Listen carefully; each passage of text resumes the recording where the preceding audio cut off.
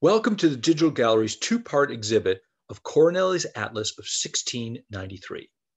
I was introduced to Vincenzo Coronelli by my fellow California Map Society member, Michael Maidenberg, who wanted to see the map of North America by Coronelli that shows California as an island. I started investigating and noticed that this book by Susan Schulten, which I already had, features uh, the map by Coronelli of North America. I also found that the entire Coronelli Atlas had been digitized by the David Rumsey uh, uh, website. And those images are the basis of these two exhibit, exhibits on the digital gallery. Coronelli was successful from a very early age, first publishing, uh, first publishing at the age of 16, and then publishing about 140 works over his life.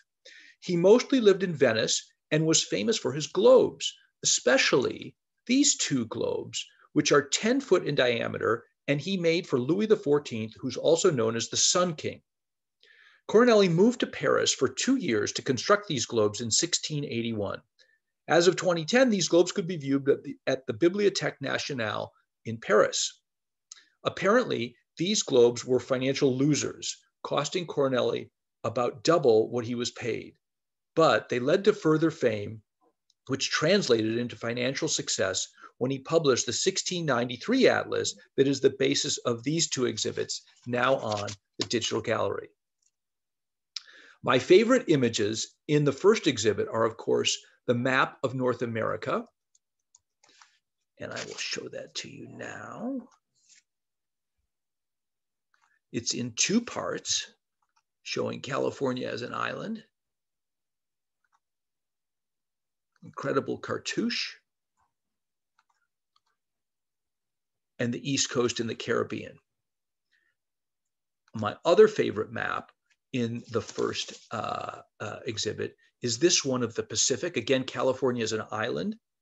And also uh, notice that uh, uh, Australia has not uh, been discovered and only pieces of New Zealand are on the map.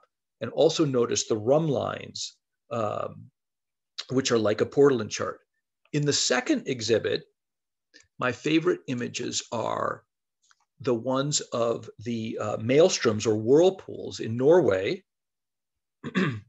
and second, all of the images uh, of the ships. These images are just incredible.